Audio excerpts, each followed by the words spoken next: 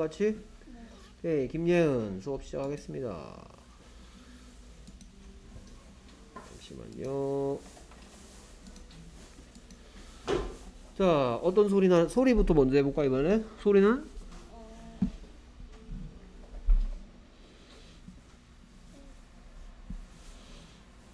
맞든 틀리든?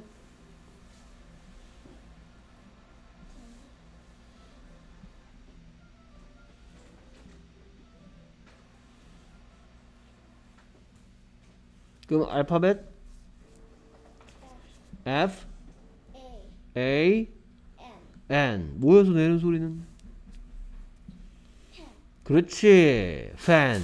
그렇죠. Fan이죠 fan. Fan, fan. 그러면 여기 A부터 먼저 볼까? A가 뭐 중에 뭐 됐고? A, A, A, O, 중에서 에 F는 항상? 그 다음에 N은? N, 음 N은 느 됐죠. 그래서 합쳐서 Fan, fan. 오케이 그래서 소리? Fan, 쓰는 법? F.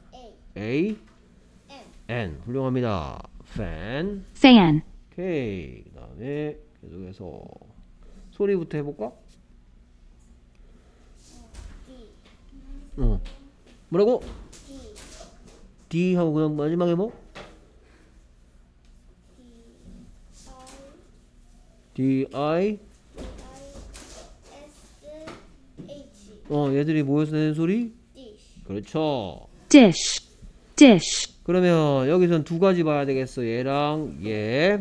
I가 뭐 중에서 뭐 됐고 I, E, 중에서 E, E 됐고 SH는 항상 She, she, D는 드 합쳐서 dish, dish 됐죠. 오케이. 어, 왜 터치가 안 돼? 어. dish, dish. 오케이. 그래서 소리 쓰는 법. 어, D, I, E, N, S, H, 어, 그렇죠. 자, 예은이하고 근우가 오늘 너무 늦게 와가지고 선생님이 수- 시간이 충분하지가 않아. 다음번에 또 좀 일찍 왔을 때 점검할 테니까. 오케이. 아까 하던 거 계속 이어서 하시고요.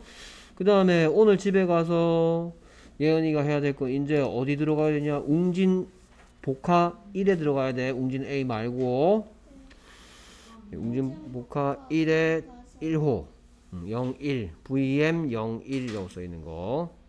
요거를 공부해야 되는데 이거는 VM이라고 써 있는 좀 다르게 해야 돼 공부할 때 어떻게 해야 되냐면 얘만 보고 얘 소리를 낼 수 있어야 돼 가방이라는 거 보고 어 가방은 이게 뒤집혀서 안 보여도 가방은 백이지 가방을 보고 영어로 백이라고 소리를 이게 안 보이는 상태에서 백이라고 소리를 내고 그다음 백을 쓸 수 있어야 돼. B A G 이런 식으로 연습하는 거예요.